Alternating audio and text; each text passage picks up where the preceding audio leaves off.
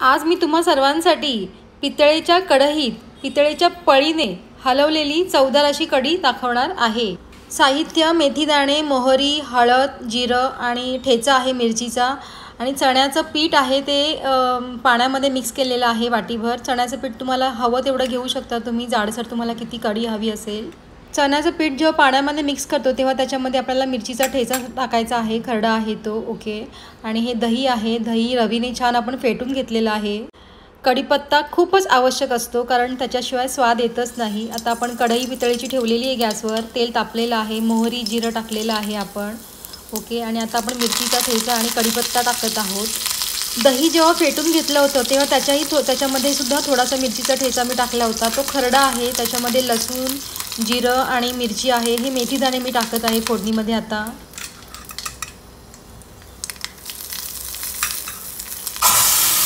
फोडणीला खमंग असा सुगंध आला पाहिजे आणि मग आपण त्याच्यावरती आपण दही टाकत आहोत. नंतर हे चण्याचं कालवलेलं पीठ टाकत आहोत आपण. छान हलवून घ्यायचं हे ओके.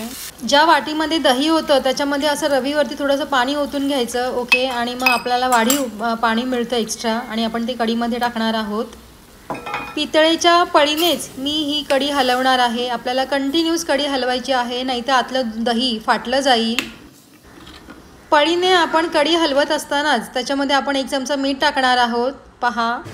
कढीला आपण जेव्हा फोडणी देतो तेव्हा त्याचा एक सुहासिक सुगंध घरभर पसरतो. म्हणजे आपली कढी छानच झालेली असणार प्रश्नच नाही.